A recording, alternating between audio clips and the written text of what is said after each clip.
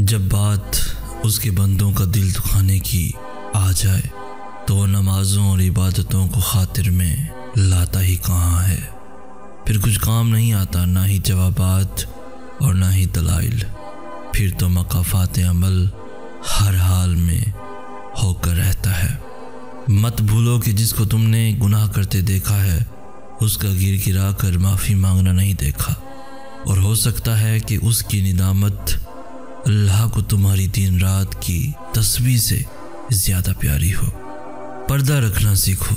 बिल्कुल वैसे ही जैसे अल्लाह तुम्हारा पर्दा रखे हुए है, क्योंकि हम सब ऐसे राज छुपाए हुए हैं कि जिन्हें अल्लाह बेपर्दा कर दे तो हम एक दूसरे को दफन तक न करें। कोई लाख पाकिजगी का दावा कर ले, मगर सच यही है कि अल्लाह के सिवा कोई ऐब से पाक नहीं। बस वही दिल के हाल जानता है। और उसके सिवा किसी को भी जन्नत या दोजक का फैसला करने का इख्तियार नहीं। मगर फिर भी जो खुदा बनने की कोशिश करते हैं, उनके लिए ये बात जहन नशीन रखने की है कि जब उसकी खुदाई पकड़ती है तो रहता इंसान भी नहीं। और बेशक उसकी पकड़ बहुत सख्त है। एक दर्द भरी रात अल्लाह के रूबरू बैठकर गुजर जाए तो ज़िंदगी की बाकी रातें जाग कर गुजारनी नहीं पड़ती। जब तुम्हें कहीं से कोई उम्मीद नहीं रहती, तब वो तुम्हें तहजद की लगन लगा देता है और एक नई उम्मीद से जोड़ देता है। और फिर तुम जान जाते हो कि जो दर्द दिन के उजालों में नहीं सिमट पाता, वो रात की तारीखियों में सिमट जाता है। वो पहले तुम्हें चुनता है, फिर एक एक करके असबाब बनाता है। फिर तुम्हें एक ही झटके में यूँ अपने करीब कर लेता है कि सदियों का फासला चंद लम्हों में सिमट आता है। वाकयात, हादसात, हालात खुद पैदा नहीं होते, बल्कि पैदा किए जाते हैं। किसी का ज़िंदगी में आना और चले जाना इत्तफाक नहीं होता। हर चीज़ में वजह मसलहत पोशीदा है। तुम जब खुद उसकी तरफ़ नहीं जाते तो तुम्हें उसकी तरफ़ खींच कर बुला लिया जाता है, ताकि तुम उस अफजल पहर में उठकर अल्लाह को मना सको, जिसमें मांगी गई दुआएँ कभी रद्द नहीं हो सकती।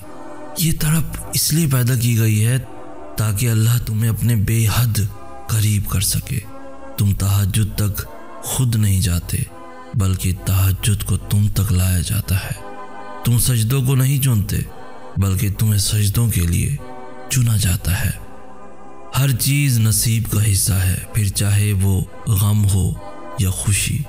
हम सोचते हैं कि हम खुद अल्लाह की जानब जाते हैं, हालाँकि हमें तो उसकी जानब बुलाया जाता है, कभी गिरा कर और कभी संभाल कर तुम्हें क्या लगता है, जब रात सोने के लिए बनाई गई है और हर शख्स सुकून की नींद सो रहा है।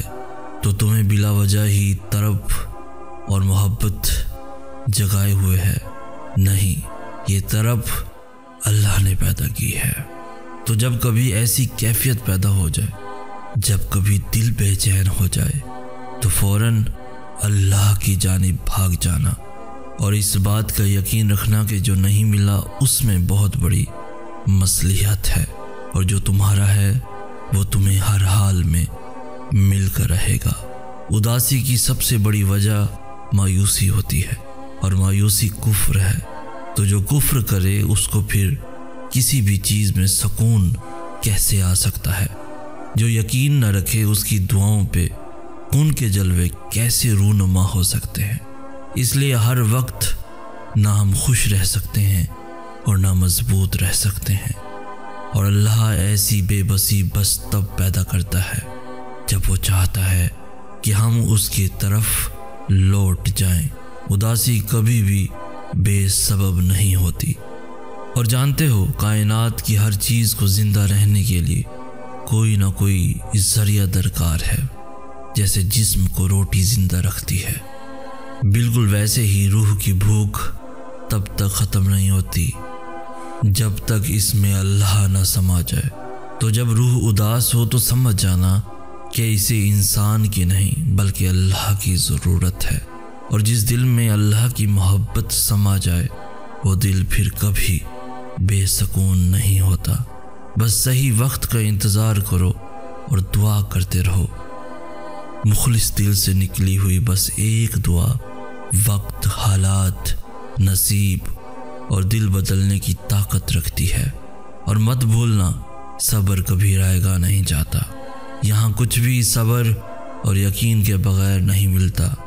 हाँ ऐसा होता है कि कभी कभार हिम्मत टूटने लगती है। और दिल बेहद उदास हो जाता है।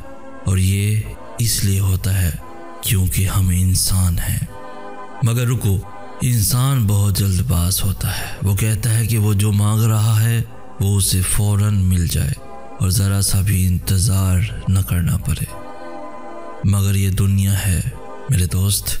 जन्नत नहीं कि जो मांगा, वो पलक झपकते ही मिल गया।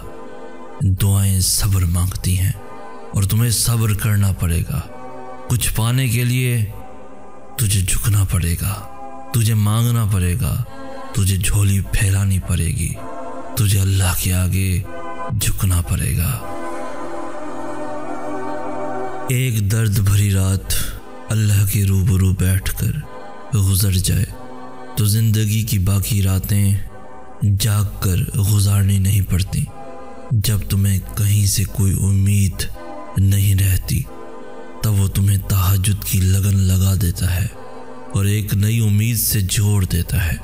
और फिर तुम जान जाते हो कि जो दर्द दिन के उजालों में नहीं सिमट पाता, वो रात की तारीखियों में सिमट जाता है। वो पहले तुम्हें चुनता है, फिर एक एक करके असबाब बनाता है। फिर तुम्हें एक ही झटके में यूँ अपने करीब कर लेता है कि सदियों का फासला चंद लम्हों में सिमट आता है। वाकयात, हादसात, हालात खुद पैदा नहीं होते, बल्कि पैदा किए जाते हैं। किसी का ज़िंदगी में आना और चले जाना इत्तफाक नहीं होता। हर चीज़ में वजह मसलहत पोशीदा है। तुम जब खुद उसकी तरफ़ नहीं जाते तो तुम्हें उसकी तरफ़ खींच कर बुला लिया जाता है, ताकि तुम उस अफजल पहर में उठकर अल्लाह को मना सको, जिसमें मांगी गई दुआएँ कभी रद्द नहीं हो सकती। ये तड़प इसलिए पैदा की गई है ताकि अल्लाह तुम्हें अपने बेहद करीब कर सके। तुम तहजद तक खुद नहीं जाते, बल्कि तहजद को तुम तक लाया जाता है। तुम सजदों को नहीं चुनते, बल्कि तुम्हें सजदों के लिए चुना जाता है।